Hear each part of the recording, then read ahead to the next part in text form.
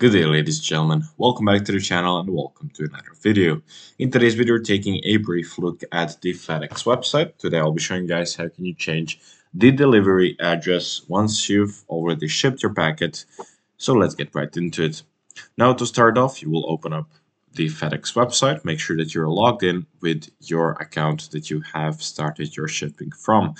Now to change the address of the delivery is not as easy as it may sound. To do so, you'll have to contact their support system uh, in order, of course, to uh, try and make them um, try and make them return the order or simply change the, the address itself.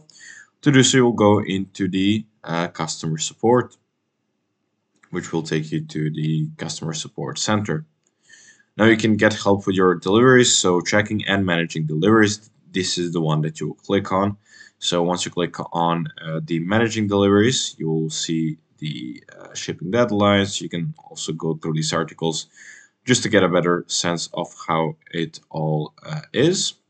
On the top, get back and then click on track a package. Once you click on that one, you will get all of the information about the package that you're trying to deliver. You'll type in the tracking number or the tracking ID that you got uh, when shipping the, the packet.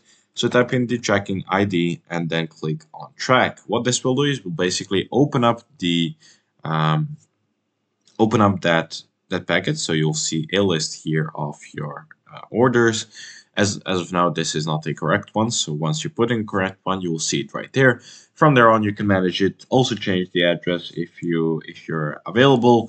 You can change the routes or anything else you would like to do. So also see the times when it should arrive or um, or what so not. That's actually everything for today's video. Thank you very much guys for watching and if you enjoyed this video make sure to leave a like, subscribe to the channel and turn on post notifications and I'll see you all in the next one. Goodbye.